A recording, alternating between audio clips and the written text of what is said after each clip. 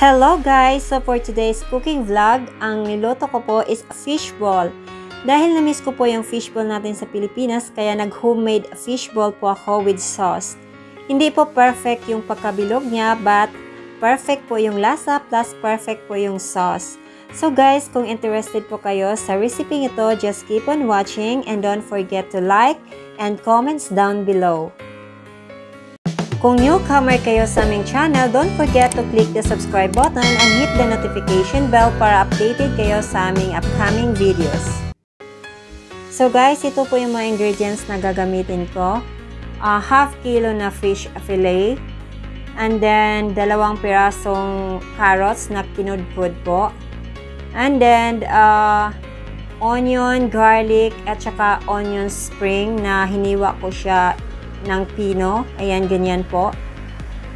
And then, half cup of flour. And then, 1 cup of cornstarch.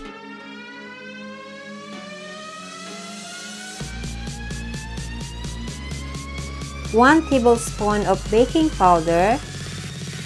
2 tablespoon of sugar, brown sugar or white sugar, pwede po. And then, uh, black pepper at saka salt, 1 tablespoon po.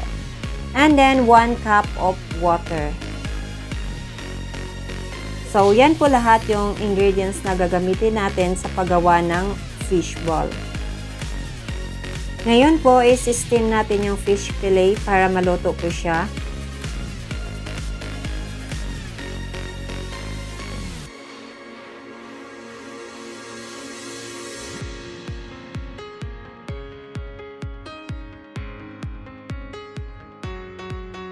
Pag maluto na po yung fish fillet, ayan, imamash po natin siya para maging pino.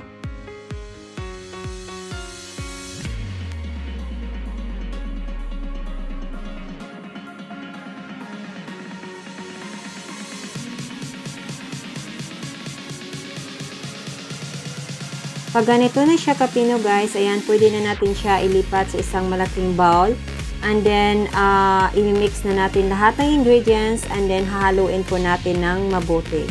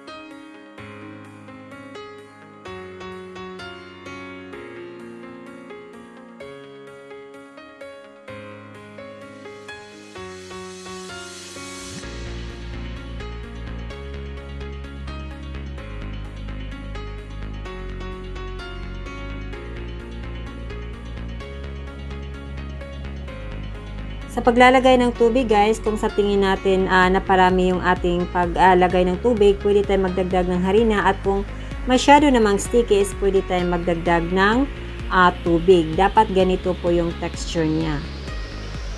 So ngayon guys is magluluto na tayo. Ayan, pupurmahin lang po natin siyang bilog. Kahit hindi po siya perfect na bilog, okay lang po. And then uh, pag golden brown na po siya, ayan, balik na rin po natin. So, pag uh, fully golden brown na po yan, ibig sabihin luto na po. So, pwede na natin siyang kunin.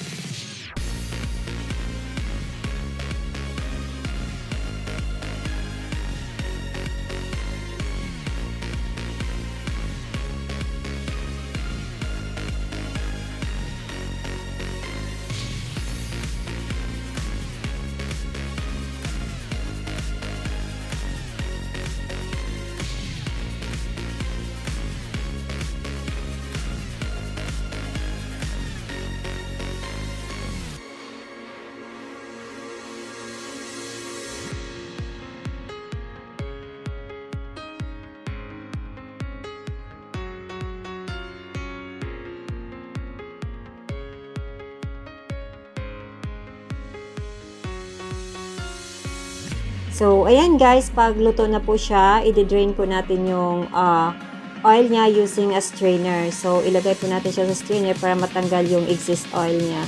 And then, ito na po yung ating finished product. Ayan, ang ating fishball po is ready for the sauce now. So, ngayon po is uh, magluluto na po tayo ng ating sauce dahil naka-ready na po yung ating uh, fishball.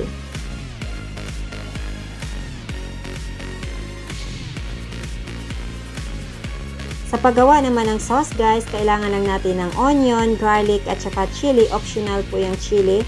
And then uh, sugar, and then uh, soy sauce, and then cornstarch, and water. And then konting uh, salt.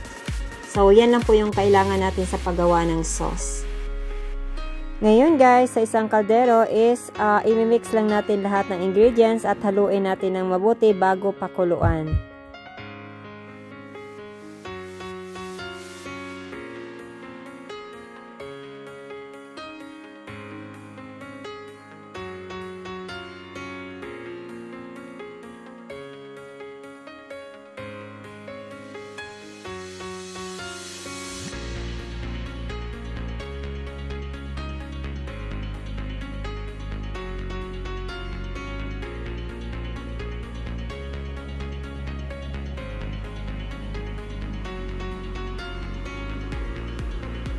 Hintayin lang po natin siya na kumulo. Ayan. At pag kumulo na po yan, kailangan po natin uh, haluin constantly for about 5 minutes po para uh, maging sticky yung kanyang texture.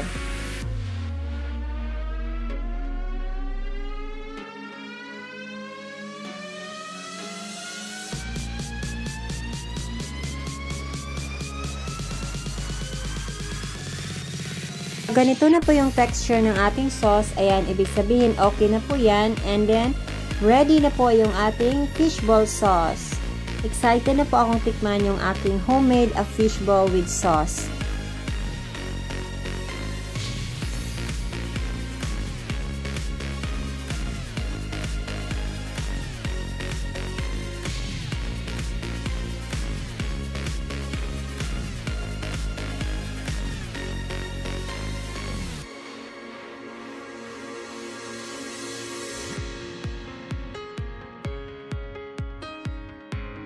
Thank you for watching in my YouTube channel. So, I love you. I have my food. Bye.